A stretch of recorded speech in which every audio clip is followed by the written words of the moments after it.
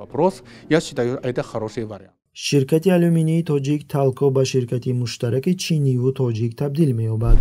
Дар ин хусус радиои озодӣ ба собиқ сафири чин дар тоҷикистон такя карда менависад. Ба фикри ман ширкати муштарак ба ҳарду ҷониб манфиатовар мебошад. Чӣ аз ҷиҳати ташкил намудани ҷойҳои корӣ чӣ аз ҷиҳати афзоиши қувваи истеҳсолӣ ва ҳаҷми маҳсулот. Фурӯши маҳсулот ва дар охир даромадҳо аз андоз ба буҷаи давлати тоҷикистон бо ибораи дигар аз лоиҳаи мазкур на танҳо чин балки тоҷикистон низ соҳиби манфиат мегардад гуфт собиқ сафир.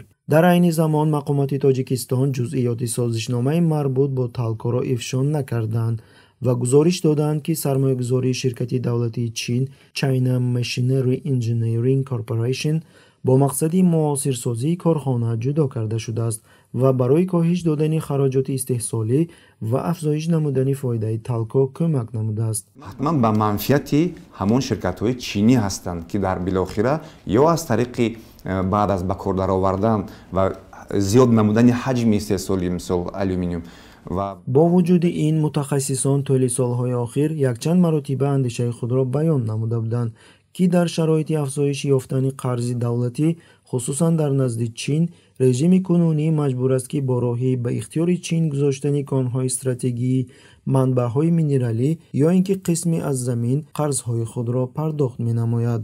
Гранти хитой э, маблағгузорӣ карда мешавад. Бинобар ин хитоиҳо асосан оле маблағ муайян шудагӣ ин ваи ҳамун давра ва юани вао карӣ доллар гузарондагида дусаду си миллион буд дусаду си миллион доллар буд. Ҳозираки хурд болои поён рафтасам